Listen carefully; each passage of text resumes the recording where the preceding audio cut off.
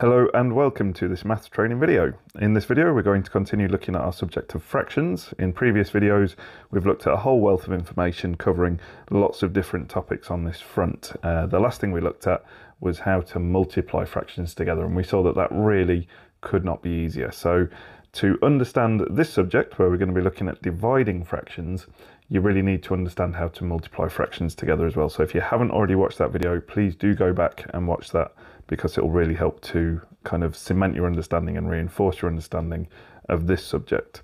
But let's get started on the subject of dividing fractions. So in order to understand how the process that we're going to do in this video works, we need to think first of all just about normal division. So here we've got a simple sum on the screen. What is 6 divided by 2? Now there's two ways that we can think about division.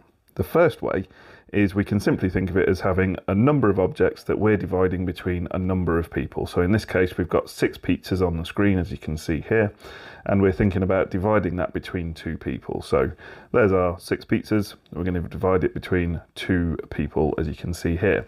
And what happens is that we just start uh, pairing them off effectively. So we move one pizza to one and then one to the other, and we keep going until we've finished up all of the uh, dividing process. And you can see that each person has ended up with three pizzas. Well, this is a pretty freaky looking pizza. I'm not sure what uh, topping on a pizza would be blue like that, but there we go. So that's the first way we can think about uh, division uh, in terms of taking a quantity and dividing it between a number of people. But there's another way of thinking about it, and this other way is going to be really helpful when it comes to understanding the process of dividing fractions together. So let's go back to the start. Here we've got our six objects. Now, the other way that we can think about division is we can think of it as finding out how many groups of this we've got in this. So, in other words, in this question, we're seeing how many groups of two are there in a set of six. So, let's think about it. If we start to find uh, kind of groups of two within this number. We've got our six items here, and then you can see we've got one group of two there, and then we've got another group of two there, and then we've got another group of two there. So we've got to the same answer. We can still see that we're getting three effectively is the answer. Six divided by two is still three. But we're thinking about it slightly differently. We're not thinking about dividing it up between two people. We're now thinking how many groups of each uh, item are there within the whole set. Now, this really helps us when we start to divide fractions together. Because if we look at our first question involving fractions and division, we've got what is one half divided by one quarter. So what is a half divided by a quarter? So I'll throw it up on the screen there. That's how we traditionally write this. One half divided by one quarter. Now, to understand this, we're going to use that principle of how many of this item are there within this set. So let's look at that visually. Again, we always want to start thinking in pizza. Whenever we do division, I always find it useful to think in terms of pizza. So here we've got a pizza and we're interested in one half of it. So just in the shaded area, that's the bit that we're interested in. Here is one half of that pizza. So we can ignore this white area here. And we are dividing that by one quarter. So here's another pizza effectively, and we've divided it into quarters. We've shaded one of those areas, so that is one quarter. And now what we're thinking of, because if we try and think of this in the original terms, we're, we're going to say uh, we're dividing uh, a, a, a, half by a quarter of a person. Well, how do you divide by a quarter of a person? It just, just doesn't make sense. So what we're going to think of instead is how many of this object are there within this object. Okay, so how many of these uh, kind of orange segments are there within this blue segment? And again, we can draw that out and it's going to help us to understand it. So here we've got our half and we're going to say how many quarters are there in that half. So we've got one quarter there and we've got another quarter there. So you can already see the answer here. We've got two of these items. We've got two of these within this overall larger set here? So the answer to this question is 2. So there are effectively two quarters within one half, which kind of makes sense when you think about it. So there's our answer. One half divided by one quarter is equal to 2. Now let's just have a look at another example just to reinforce this a little bit more.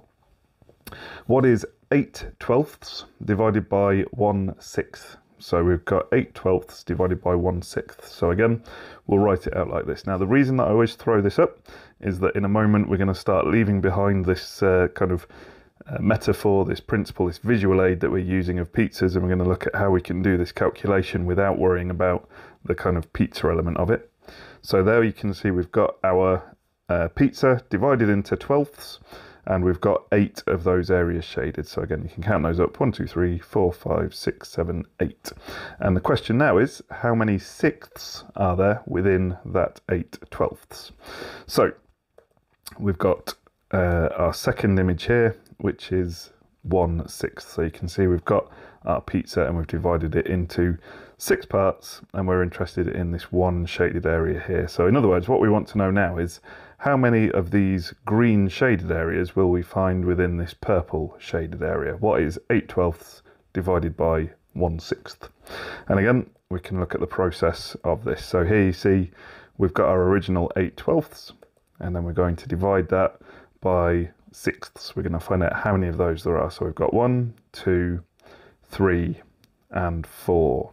So you can see that that's covering up the same area. So we've got four of those sixths within 8 twelfths. And so the answer to this question, 8 twelfths divided by 1 sixth, gives us 4. So that's the answer to this question. There are 4 of those sixths within 8 twelfths. So far, so good. That's looking pretty simple. Now, of course, the challenge arises in that we can't just um, be drawing pictures of pizza, and perhaps it kind of won't always be quite this neat and simple when we start doing this kind of calculation whereby we get a whole number answer every time. It's going to get a little bit more complex than that. So let's go back to our first question What is one half divided by one quarter? And we're going to look at how we can do this just purely with maths now. So we're going to look at how we can do this calculation mathematically we've got one half divided by one quarter. Now, when I do this kind of calculation where I'm doing um, a division that involves fractions, I always think uh, of the following uh, kind of memory aid. I say that we need to remember that dividing fractions is dumb. Okay, so why is it dumb? Well, so we've got here our first letter in this memory aid, which is divide. So when we are dividing with fractions, we turn the second fraction upside down, upside down, and then we multiply. Okay, then we multiply.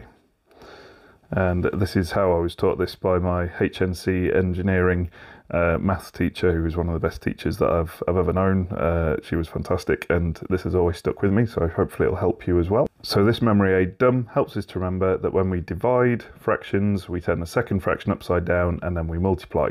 So, let's put this into action. So, we already know the answer to this question, so if I'm right about this process, then we should see this happen uh, right before our very eyes, and we should get to that answer that we already know we're going to get. So let's follow the process. So we've got a division that involves a fraction. So we leave the first fraction as it is. We turn the second fraction upside down, so that becomes 4 over 1 instead of 1 over 4. We've just flipped it. And then we multiply those two fractions together. And if you remember from the previous video, multiplying fractions is really easy. We just multiply the top two numbers together and then the bottom two numbers together. So 1 times 4 gives us 4 over 2 times 1, which gives us 2. So we've got 4 over 2 and 4 divided by 2. I don't need to tell you.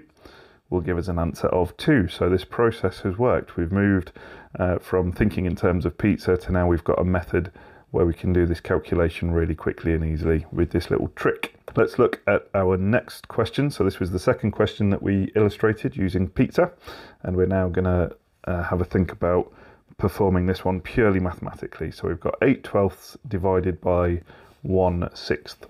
So all we've got to do is uh, we've got a uh, division that involves fractions. So we're going to turn the second fraction upside down. So let's write it out. We've got 8 over 12, and then we're going to turn the second fraction upside down. So we've got 6 over 1, and then we're going to multiply those two together. So we've got, uh, again, we just multiply the top two numbers. So that's 8 times 6, which is going to give us 48. and you may be able to race ahead of me now and see what the answer is going to be. We've got 12 multiplied by 1, which is going to give us 12. So we've got 48 over 12, and if you do 48 divided by 12, you'll find you get the answer of 4, which corresponds perfectly to what we saw explained visually earlier on. So that is the simplest method of uh, dividing fractions together. So if you get a division uh, that involves fractions, all you do is turn the second fraction upside down, multiply the numbers together, cancel it down until you get it into the simplest form, and you'll come out with the correct answer. So that brings this video to an end. What we're going to look at in the next video is, as usual, just a list of uh, kind of practice questions for you to have a go at, and then I'll work through the answers uh, for you to see if you've followed the process correctly. You'll be able to self-evaluate that. If you're completely comfortable with this, as always, feel free to skip that next video and move on to the following subject where again we take it up a notch. We start looking at what happens when we start adding fractions together and subtracting fractions uh, where it gets a little bit trickier. It's kind of the opposite to uh, the rest of maths in that in that the addition and subtraction is harder than the multiplication and the division. So that's all uh, quite interesting. So there we go. That's the simplest method of dividing fractions. All that remains in this video is to say thank you very much for watching